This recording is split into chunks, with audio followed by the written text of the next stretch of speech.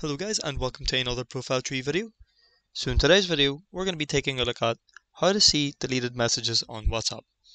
So without further ado we're going to go ahead and get started. Okay so first of all what you want to do is you want to go ahead and open the settings app on your Android device or you can pull down on the no notification shade and tap on the settings icon which is the gear shape.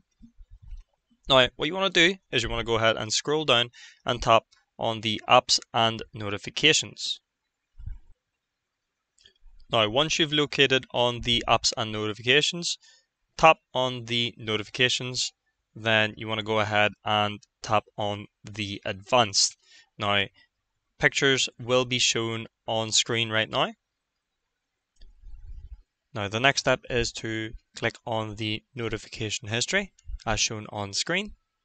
Now, once you have tapped on the notification history, you can toggle the switch at the top of the screen to use the notification history. So you will also see a list of the recently dismissed notifications as well. And you can reverse the chronological list of your notifications.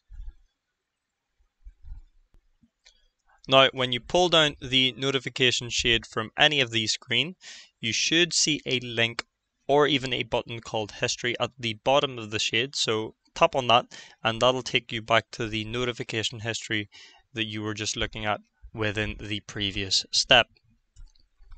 Now, unfortunately, this step only works for the Android users.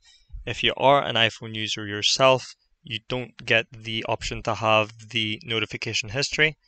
Now, if you are lucky, you can try to keep the notifications on. Make sure you just have the toggle switch on for allow notifications as shown on screen. And if you click on the drop down or the shade, just like Android, you should be able to see any of the previous messages or deleted messages on WhatsApp. But there you guys have it. That is how to recover deleted messages on WhatsApp. If you did find this video helpful, please do leave a comment in the comment section below. Let us know how we got on. But other than that, I'll see you guys for the next video. Thank you very much for watching.